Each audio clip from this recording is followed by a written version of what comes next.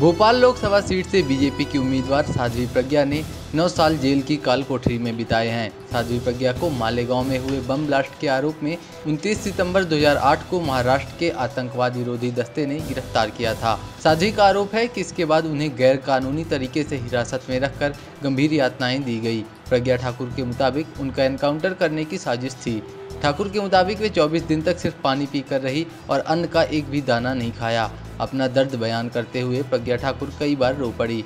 प्रज्ञा ठाकुर ने बताया कि उन्हें चौड़े बेल्ट से पीटा जाता था, जिसमें लकड़ी की मूठ लगी रहती थी। साध्वी के मुताबिक, जब बेल्ट से उन्हें मारा जाता था तो उनका नर्वस सिस्टम शून्य पड़ जाता था। उनका जख्मी हाथ नमक मिले पानी में डाल दिया जाता था। उन्हें दिन रात गंदी गंदी गालियाँ भी दी जाती थी। प्रज्ञा ठाकुर ने आरोप लगाया कि उनकी इच्छा के बगैर उनकी बॉडी को केमिकल में डालकर तीन बार नार्को टेस्ट किया गया। प्रज्ञा ठाकुर ने इस दौरान दिग्विजय सिंह पर भी निशाना साधा जब मुझे लेकर के गए गैर कानूनी तरीके से तेरह दिन तक रखा। पहले ही दिन बिना कुछ पूछे हुए, उन्होंने मुझे बुलाया। ढेर पुलिस थी। उन्होंने मुझे बुलाया और बुला करके जो पीटना शुरू किया, इतना चौड़ा बेल्ट रहता है, इतना चौड़ा बेल्ट।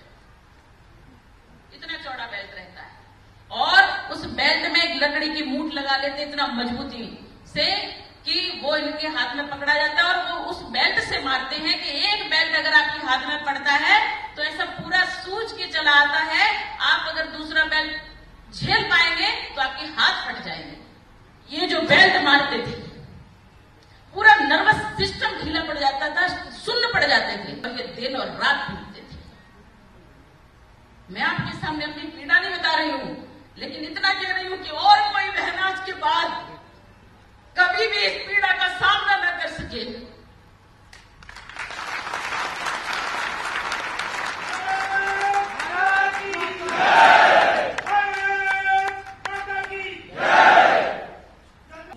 इतनी गंदी गालियाँ देते थे। पीटते पीटते उल्टा लटका देंगे, तुझे निर्वस्त्र करेंगे। असहनीय है मेरे लिए कहना।